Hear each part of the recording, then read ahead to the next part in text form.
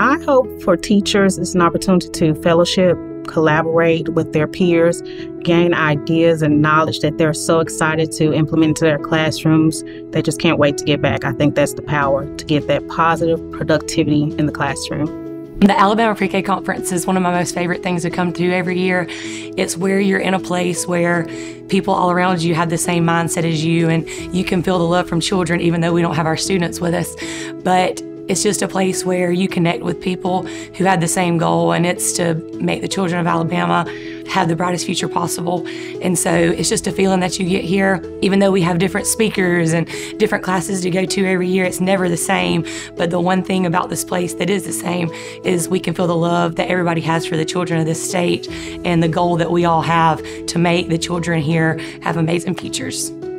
As we all know, early childhood development sets the foundation for lifelong learning and helps children to be able to move forward and have a wonderful life. The experiences children have in early childhood shape the brain and make sure the capacity is there for children to learn and deal with daily stresses and challenges.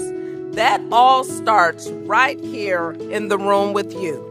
I think the conference is an amazing program for us as monitors and coaches, and also for our teachers to get together and be able to share ideas and also be trained in developmentally appropriate practices and ideas and be able to use those while we're coaching, monitoring, and teaching. I find the conference important because it's an avenue to not only make networking, but to expand my perception as a preschool teacher and um, hear advice, ideas, and solutions that I might not have personally been able to make up on my own.